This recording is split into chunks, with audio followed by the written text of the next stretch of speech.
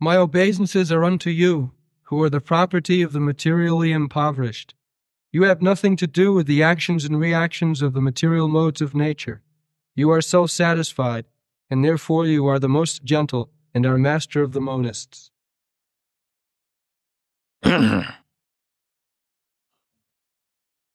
so, Nava Hakinchana Vitta, uh, materially impoverished. This is the first qualification of a devotee. Uh, one who does not possess anything of this material world, he simply possesses Krishna. That is Akinchana. Akinchana means one who has lost everything of material possession.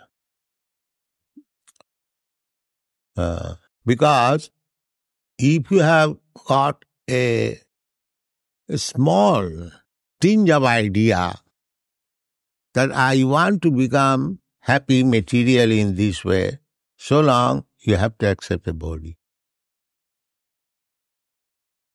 Uh, the nature is so kind that in whichever way you want to enjoy this material world, she will give you a suitable body under the direction of the Lord. The Lord is situated everyone's heart.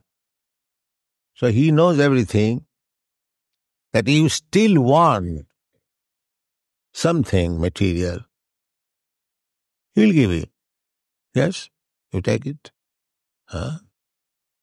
Krishna wants that you get full experience that by material gain, you'll never be happy. This is Krishna's business. Uh, there's full freedom. Although you have got minute quantity of freedom, because we are part and parcel of Krishna, Krishna has got full freedom. But the freedom quality is there in me because I am part and parcel of Krishna. The chemical composition. The drop of sea water has got a drop of salt also. Although it is not comparable with the salt containing in the sea water, but the salt chemical is there. Uh, uh, this is our understanding. Janmadasya. Whatever we have got in minute quantity, the same thing in fullness is there in Krishna, in fullness. Uh, just like uh, hmm, Krishna says, Mritus sarva harascha aham. Now we have got uh, a propensity to take others' thing. You can say it is stealing. We have got that propensity. Why? The Krishna has got. Krishna is known as the butter thief, the beginning, the thieving, stealing. So unless that stealing propensity is there, how I can get? Uh, but Krishna's stealing and my stealing is different because I am materially contaminated. Therefore, my stealing is abominable. Whereas the same stealing in the spiritual absolute platform is so nice, very enjoyable. Mother Jasoda enjoying the activities of stealing by Krishna. That is the difference. Uh, material and spiritual. Any activity is spiritual, that is all good. And any activity, material, that is all bad. This is the difference. Here the so-called morality, goodness, they're all bad. And in the spiritual level, the so-called immorality is also good. That you have to understand. Huh? Just like to dance with others' wife at dead of night. This is immoral. Everyone knows, at least in the Vedic civilization, it's not allowed. A young woman is going to another young man at dead of night to dance with him. This will never be allowed in India. Still, it is private. Uh, but we find that all the gopis, as soon as they heard the flute, uh, immediately they came. Hmm. So, from material conception, it is immoral. But from the spiritual concept, it is the greatest morality. Uh, that's like Chaitanya Mahaprabhu says, Ramya Kachid Upasana Brajavadhu Varga Bija Kulpita. Oh, there is no better mode of worship than what was conceived by the Brajavadhus, the damsels of Vrindavan. Chaitanya Mahaprabhu is very strict about women. Uh, in his family life also, he never uh, played any joke with women. He was very joking. Uh, but all, all with men, he never played any joke with women, no. Uh, perhaps only once he played joke with his wife, Vishnupriya. Uh, uh, when Sachimata was searching after something, see, he simply played a joking word. Maybe your daughter-in-law has taken it. Uh, that is the only joking we find in his whole life. Otherwise, very strict. No woman could come when he was sannyasi, could come near him to offer the obeisance. They would offer obeisance from a distant place. But he says, Ramya Kachidupasana Brajavadhu Bhargavi Kulbi. He says that there is no conception of worshipping better than what was conceived by the Brajabadhus. And what was the Brajabadhus' conception? That they wanted to love Krishna at any risk. Huh? So this is not immoral. That we have to understand. Anything in relationship, just like Prahlad Maharaj. Prahlad Maharaj is standing and his father is being killed. Is it moral? Would you like to see your father being killed in, in your presence and you stand, you don't protest? Is that moral? Nobody will approve it, that this is moral. Oh. But actually, so happened uh, that uh, Hiranyakashipu was being killed. The picture is here. And Prahlad Maharaj is trying to garland the killer. my dear Lord Killer, you take this garland. You are killing my father. You are very good boy. you see? This, this is spiritual understanding. Uh, no, body will sanction that you, if you cannot protect your father, you must protest. You must cry that here is my father is being killed. Come on, come on, come on, help. No. He is prepared with the garland. Hmm. Uh, and when he was killed, he said to Nrisimhadev, My dear Lord, now my father is killed, so everyone is happy. You now wind up your angry mood. Uh, uh, nobody is unhappy. Uh, he said this very word. Modeta sadhurapi vischikasarpa hatya. Modeta sadhurapi. A sadhu, a saintly person, never approves that one should be killed. Never, never. Even an animal. A sadhu does not approve. Why animals should be killed? That is sadhu's business. But Prahlad Maharaj says, Modeta sadhurapi.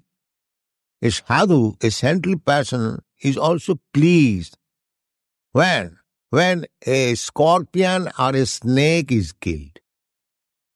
They are also living entity. Uh, a sadhu is never satisfied seeing another living entity being killed. But Prahlad Maharaj says, even a sadhu is pleased when a snake is killed or a scorpion is killed. So my father is just like snake and scorpion. So he is killed, uh, therefore everyone is happy. Everyone. Such demon who uh, simply troubles the devotees, such demon, uh, very dangerous demon. So when such demon is killed, even saintly persons are satisfied. All the saintly persons, they do not want anybody should be killed. Uh, so, uh, Krishna is akinchana vitta. One who has lost everything materially. For him, Krishna is the only uh, solace. So Krishna is so kind that if anyone wants uh, material prosperity uh, and at the same time wants to become a devotee, uh, that is stated in the Chaitanya Charitamrita, uh, that somebody wants me, at the same time he wants material prosperity, he's a fool. He's a fool. Therefore, people are very much afraid coming to Krishna consciousness. Oh, my material prosperity will be finished. Uh, because they want, don't, do not want that. Uh, they want to stick to, generally they go to church, go to temple for material prosperity. God give us our daily bread. This is material prosperity. Or give me this, give me that. Uh, but they are also considered as pious because they have approached God. The atheist class, they do not approach. Uh, they say, why shall I approach God? I shall create my wealth.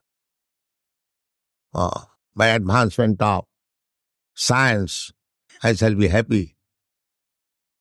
They are Duskriti duskritina, most sinful.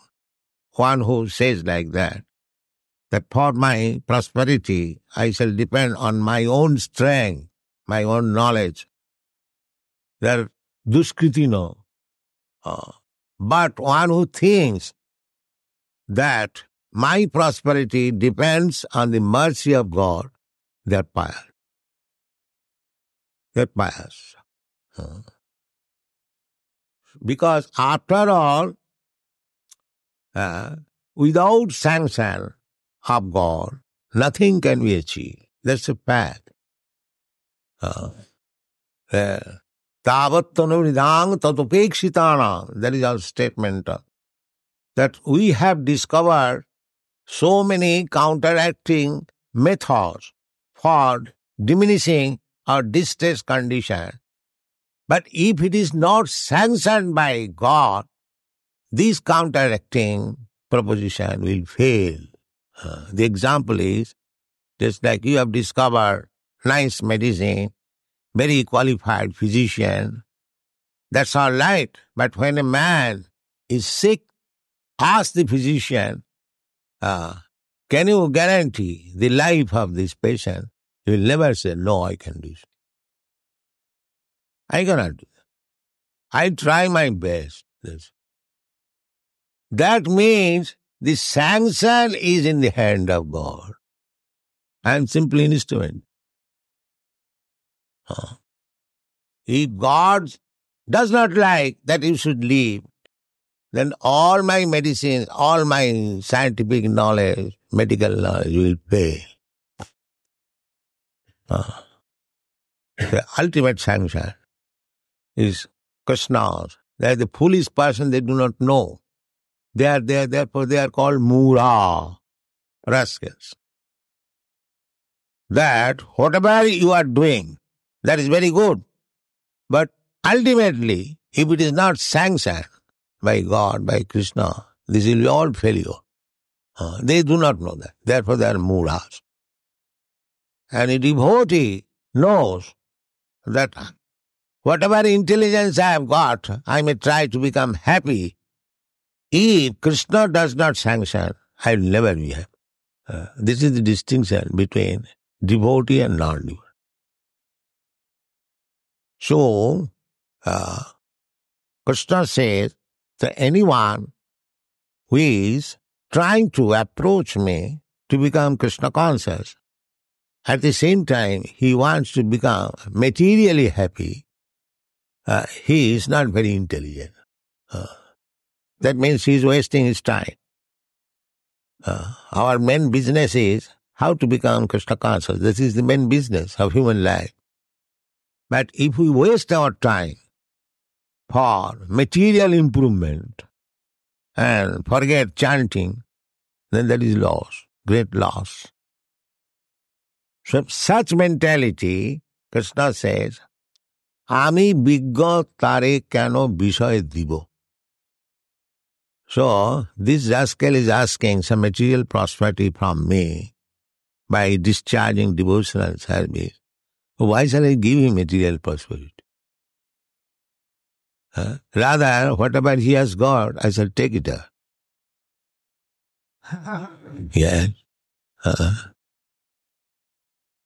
it is not laughing. When it is taken away, we become very morose. Uh, but that is the test that is stated by Krishna himself to Yudhishthira Maharaj. Jashaham manigrinami harisetad dhanam sanai. Uh, Yudhishthira Maharaj indirectly uh, inquired from Krishna that we are completely dependent on you and uh, still we are suffering materially so much uh, that our kingdom is taken away, our wife is insulted, you are attempted to be burned in a house. So Krishna said, Yes, that is my first business. Jasaham anugrinami harise tadhanam sanai. If I specially favor anybody, then I take away all his uh, sources of income. Very dangerous. Yes. Uh, I have got my practical experience in this connection. Yeah. That is Krishna's special favor. Uh, uh, I do not wish to narrate, but it is a fact. it is a fact. Uh, uh, my Guru Maharaj ordered me uh, when I was 25 years old that you go and preach. But I thought, first of all, I shall become a rich man and I shall use that money for preaching over. Hmm. So that's a long history. I got good opportunity for becoming very rich man in business. And some astrologer told me that you should have become like Birla. So there was some chances, very good chances. I was manager in a big chemical factory. I started my own factory. The business was very successful. But everything was dismantled. I was forced to come to this position to carry out my order of my Guru Maharaj. Oh. Akinchana When everything was finished, then I took Krishna, that you are the only. Therefore, Krishna is Akinchana When one becomes finished of all his material opulences, uh, then now I am realizing that I have not lost, I have gained. I have gained. Uh, that's a fact. So, to lose material opulences for Krishna's sake is not loss. It is the greatest gain. Uh, therefore it is said, Akinchana Vitta. Uh, when one becomes akinchana, nothing to possess, everything finished, then Krishna becomes the only riches for such person because he is devotee.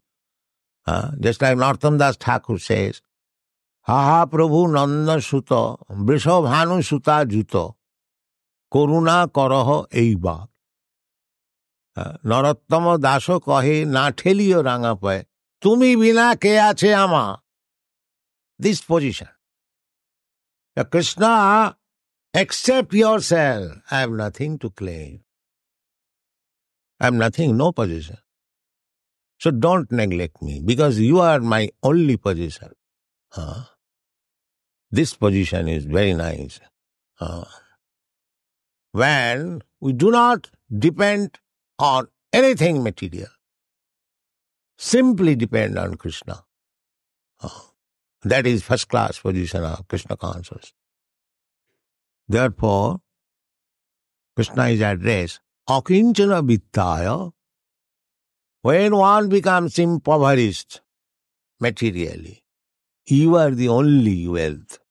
Uh, Akinchana Vittaya. Namakinchana Nirvitta Gunavitta. The result is that when one takes you as the only possession, immediately he becomes free from the activities of this material nature. That means immediately he is uh, posted on the transcendental position of the Absolute. Ah. Uh, akinchana vittaya nibbitta gunavittaye atma ramaya. At that time, uh, he becomes happy with you as you are Krishna. You are happy with yourself because Krishna has no difference between body and self. He is simply self uh, spirit soul so we have got now this body and self. I am self, but I possess this body.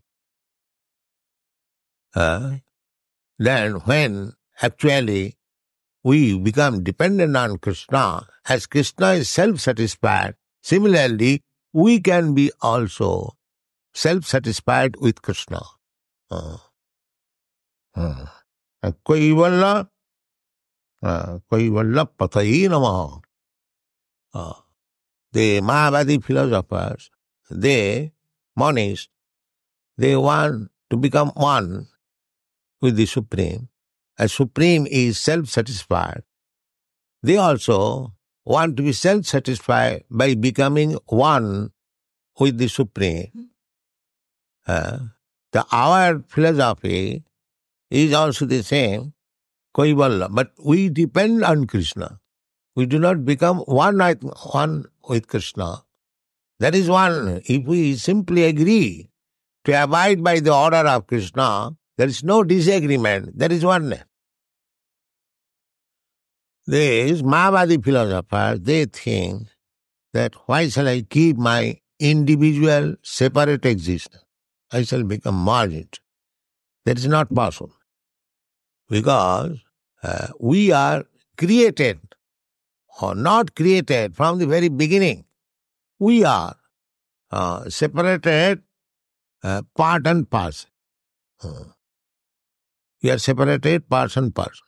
Uh, therefore, Krishna says in the Bhagavad Gita, My dear Arjuna, you, me, and all these persons who have assembled in this battlefield, we were in the past individuals, we are at present individuals, and in the future, we shall continue to remain as individuals. We are all individuals. Nitya Nityanam Chetana Chetanana. He is the supreme Nitya, supreme living force amongst many innumerable living forces. We are Jiva, innumerable. Uh, Ananta, there is no counting how many we are. So Anantaya Kalpate. So these Ananta, innumerable living entities, and Krishna is also a living entity, but he is the chief. Uh, that is the difference. Nitya Nitya. Just like there is a leader. Leader is one, and followers, there are many.